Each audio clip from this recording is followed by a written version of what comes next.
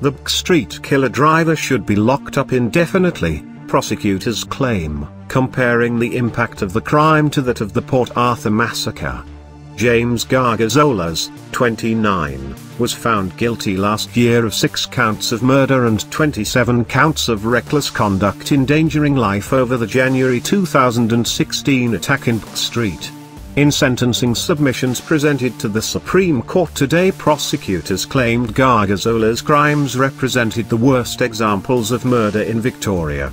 Gargasoulas murdered Yosuke Kanno, 25, Jessica Mudie, 23, Matthew Si, 33, Bhavita Patel, 33, Thalia Hakin, 10, and 3-month-old Zachary Matthew Bryant.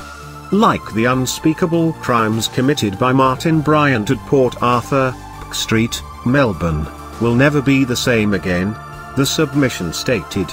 In their submission, prosecutors said Justice Mark Weinberg should sentence Gargasoulas to life without parole based on the number of murders, the deaths of two children, his criminal history and the need for deterrence.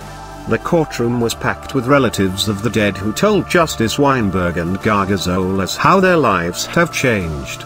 Yosuke Kanno's parents Masayuki and Minako told the court through a translator they continued to live in sorrow with no apology from Gargasoulas.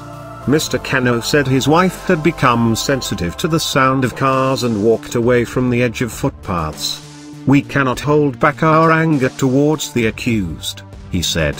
He said it was painful that their dreams of their son working as an occupational therapist would now never come to fruition.